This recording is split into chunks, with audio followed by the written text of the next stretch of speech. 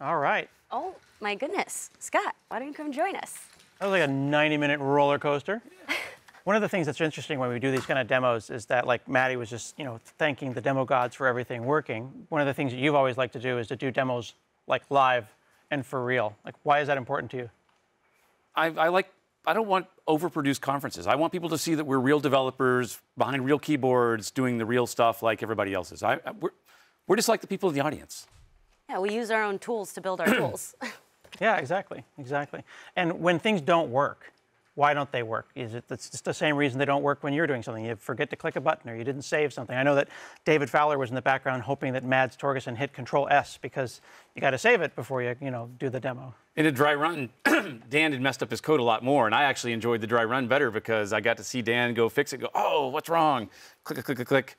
But you know, you miss a semicolon, forget to close a brace, forget to close a paren. The- We all do this all day, every day. I think you want to have us break stuff. Uh, well, let's see if we have any questions. Um, let's pull up our, our tag board here. Um, we have tons of questions coming in from Twitter, uh, a bunch of folks tuning in. Um, a few of the questions that we had. Uh, ooh, a lot of people really excited about taking pictures of David Fowler, getting excited about his demo working. While Jamie's looking for a question from the friends in the audience, I'll ask you, Scott Hunter.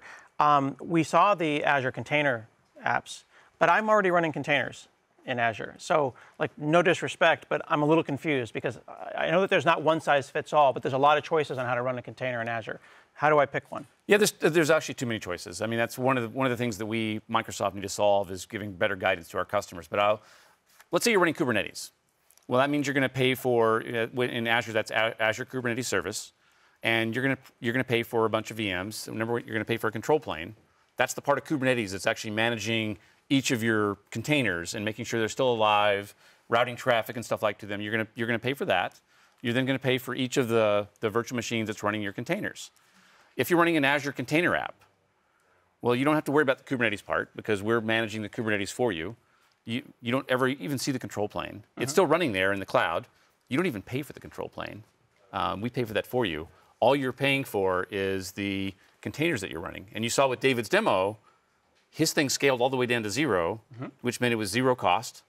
Um, and so, uh, but in, in, a, in a nutshell, here, here's more of what I think about don't think about all the ways to run containers. Think about what, what kind of app are you building? If you're going to build an app that has multi parts that talk to each other, then Azure Container Apps is probably the best start Okay. um, because it enables because all those apps are running in the same cluster, they can all see each other. If you were building those on, let's say, uh, app service containers, well, each of those kind of lives in its own world, and it has to kind of go up to the Azure firewall and back down to, to, the, to the other side to do that. Um, and so, Azure, you know, container apps and app service, that's great for running a single container. If you want to run multiple containers that talk to each other and don't want to worry about Kubernetes, Azure Container Apps.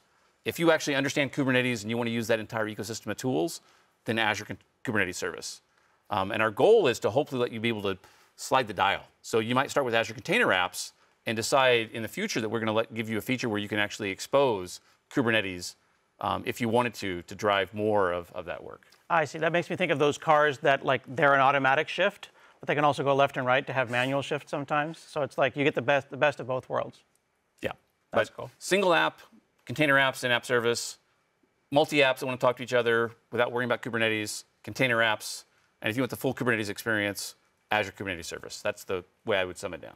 Yeah, I'm not quite there. I don't want to see Kubernetes. I I Yeah. can't handle YAML, so I like the Stay way in your. Azure You don't like containers. your kubectl? Eh, Not not a fan. Not a fan. But you know that's the thing, right? Some people like to drive stick shift. Some people like to drive automatic. That's why we have the scale. We give you why choices. You can decide which level of control you want. Exactly. Exactly. I love the flexibility. Uh, so we have a few questions. Um, so, what are the shared strings within .NET MAUI? What, uh, what's the use case? anything that was in that, you know, when Maddie was doing some of those demos, um, there was a common place to put stuff. Um, and really, that what what that's more is about is you're actually building four different apps: a Windows app, a Mac app, an iOS app, an Android app. And so, whether it's those S- SVG files or it's strings or anything else, what do you want to share across all those different platforms? Uh, is where you would stick that kind of stuff. I see. So the shared resources, shared string, shared everything sits at the top, and it's a shared uh, assembly for everyone, and then all the other ones kind of hang off it like in a family tree. Technically, if you really want to go deep behind the covers, maybe there actually really are still four different projects, but we just do magic in Visual Studio to actually hide that from you. Right, but it doesn't matter because it feels like one, and you hit F5 and it works. Exactly. We give you a simplified view, but you still want to be able to share stuff across all those simplified things. That's cool. I do- Automagically. Automagically. And I do want to remind folks that we are live and this is real. So put your questions at hashtag .NETConf and we will feel free to answer them. And we'll also pull in some of the other demoers as well who are behind the camera and if Scott Hunter can't handle the heat. I'll throw out something to you, Scott. Uh-oh. Isn't it amazing? I, I, seriously, I was sitting over here watching those demos and think about .NET Core 1.0 in this, what, July or June or July of 2016, and look what we showed today. Well, David Fowler tweeted a thing a couple of days ago where he was digging through his photos and he found us like talking about uh, ASP.NET in like 2014 and like this is a long time coming. This whole thing, right?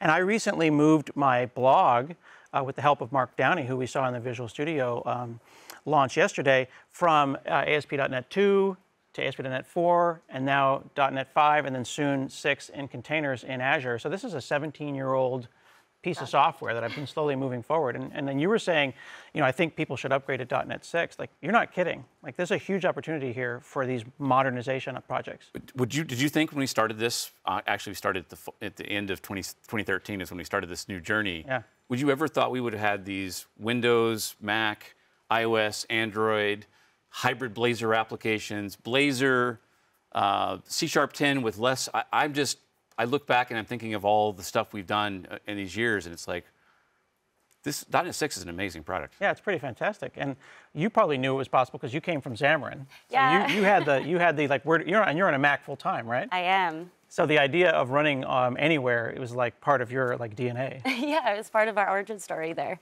Yeah, um, and I'm actually going to be giving a talk uh, later today around four o'clock, I think, and it's called .NET Everywhere, and I'm going to try to show .NET running in as many places as possible, hopefully everywhere that you just described, as well as maybe Raspberry Pis, microcontrollers. You know, how many places can I run the thing on? Ooh, I'm looking I, you, to You're sending me pictures last night of the microcontroller. Yeah, so I was up. I was up pretty late trying to think how many different uh, weird places I could run .NET. And honestly, I'm surprised that our badges still work with some of the stuff that we've gotten away with. But now we've got really strong support from our friends and other people who wear red shirts uh, to be able to pull this off. There's a few around campus, I There are too many. Yeah. Uh, well, we have a few more questions. Let's see if we could get to those. All right.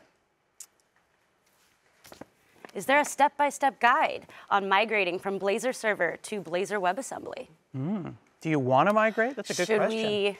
Want to bring some? Feel free to pull in uh, someone if you want to phone a friend. I was going to say, I, if Dan wants to come over and, and chat, but I, we should we should have a conversation about Blazor Server Blazor versus Blazor WebAssembly.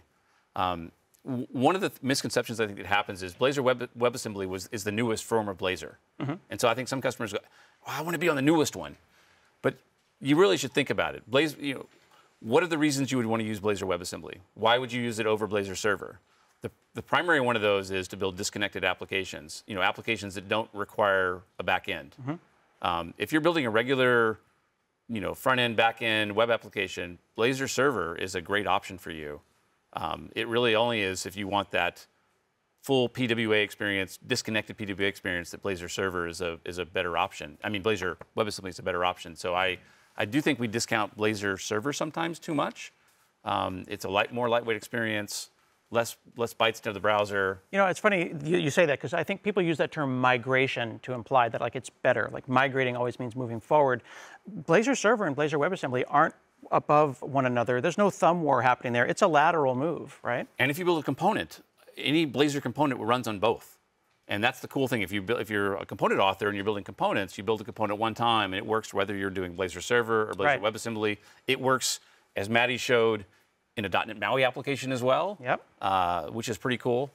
Um, but I don't know if I'd have to ask Dan if, if Dan's still here if we have a blog post on uh, or docs on how to migrate from server to WebAssembly. I love how Dan just keeps Oh, hello. swooping Oh, in. right here. Oh, yes. Hi, everyone. Yeah, sorry, I was uh, yeah in the kitchen, you know, drinking and eating. Oh, please.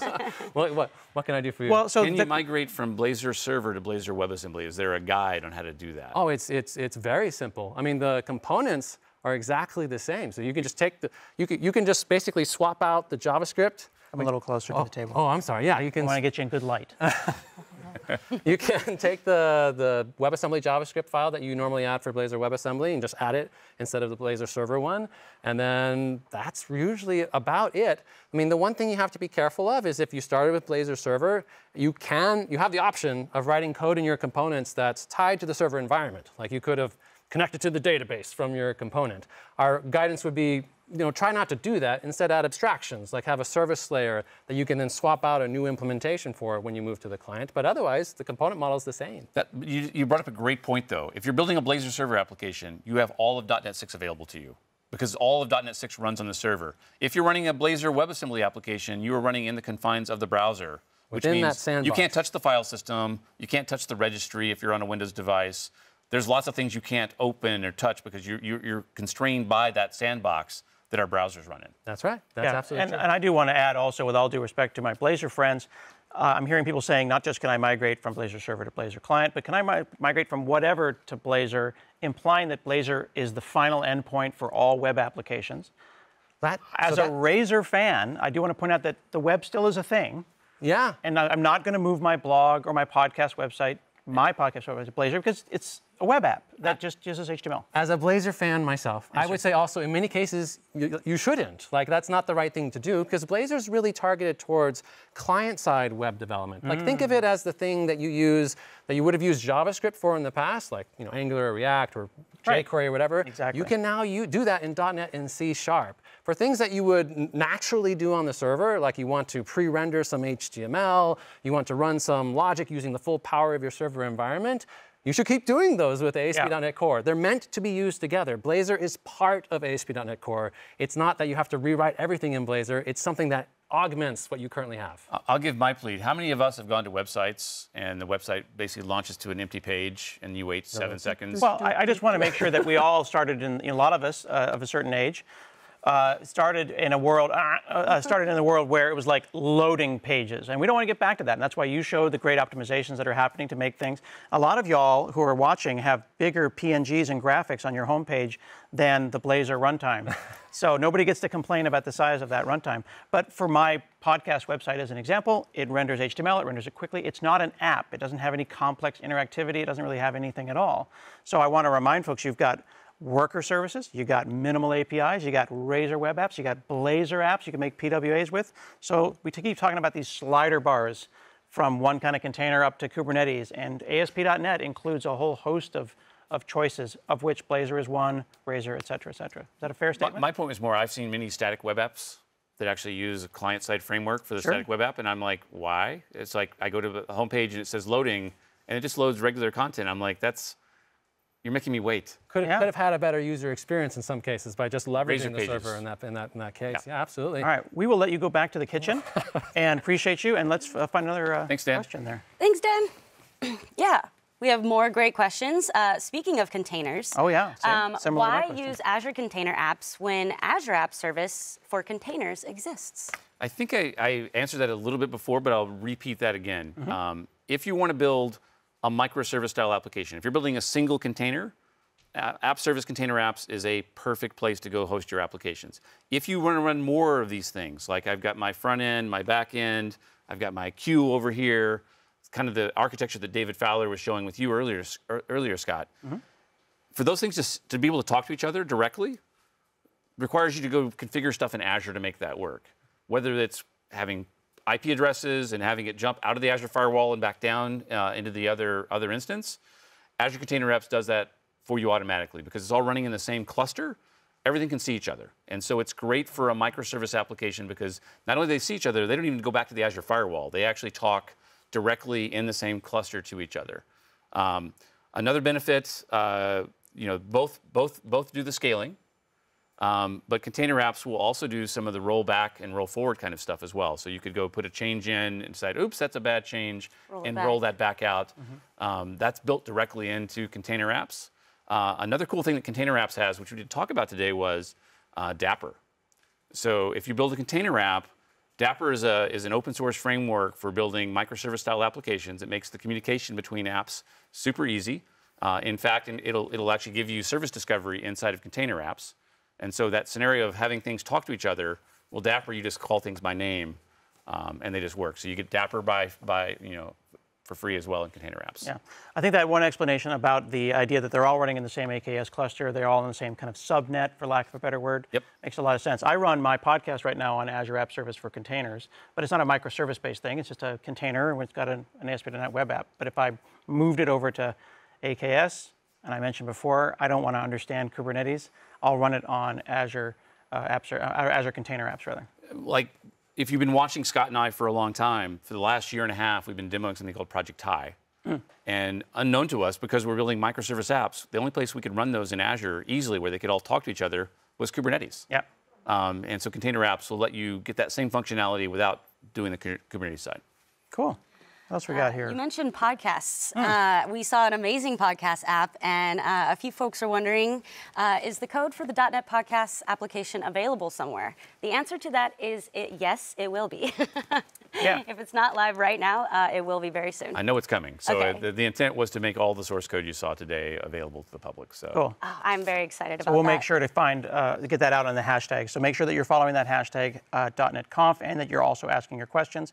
And be sure to ask your questions all day long because we're going to be watching this board, right? Yeah, we'll be here all day answering your questions. I think we have a few more that we could get to. Let's see. Ooh, click. Ooh, .NET 6 is very appealing. I agree. Do you have guidance for us, uh, classic ASP.NET 4.8 developers wanting to upgrade? You have a, you have a couple choices. So number one, if you're a, a ASP.NET 4.8 developer using MVC or Web API, the upgrade assistant that we showed in the in the keynote will, will will help you translate those applications. Those app types translate very very well over to uh, .NET 6. If you're a web form customer, um, it's a little more complicated because there's not a, a replacement for web forms in uh, .NET 6. That said, there is a, uh, if you go to dot.net, our website, under the architectural guides at the very top of the, the, the, the site, there is a whole uh, book written on how to convert a web form application to a Blazor application. And the reason I, we're, we're mapping web forms in Blazor is because they both have component models. If you're a web form developer, you have a series of controls. Um, I mentioned the, the Fluent UI control pack today, 40 controls. There's a bunch of control vendors that have controls. Um, and so web forms and Blazor kind of map the best.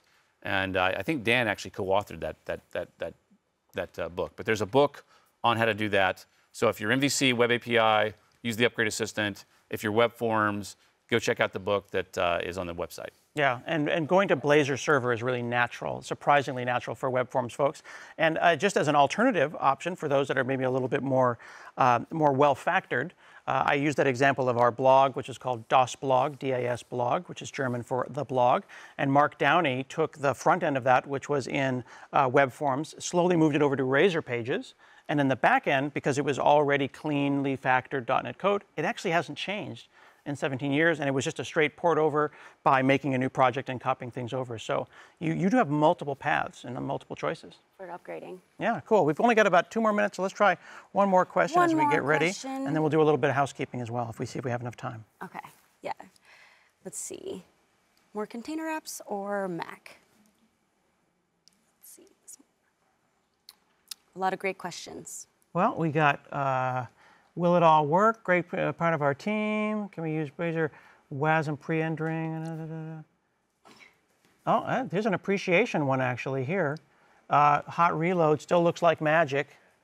Uh, it, it isn't magic though. It's all actually open source, and you can see how it works if you want to. Yeah, it's, it's not magic, and interestingly enough, you know, Hot Reload was something that's it's it's a continuation of Edit Continue. And for folks that have been around a long time, when we first shipped .NET back in 2002, we had a feature called Edit and Continue where you could put a uh, start the application in the debugger, put a breakpoint in, and when a breakpoint hit, you could go change some code.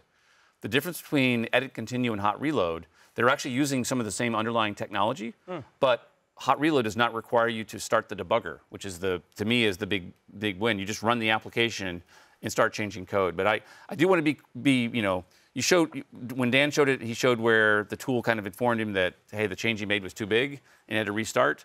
I will tell everybody Hot Reload is going to be a, a journey for us. This is the first step, and please try it and give us feedback on what doesn't work um, so we can actually continue to modify it to make it work in more scenarios. And in some cases, you need something that we've not done yet, which we call hot restart.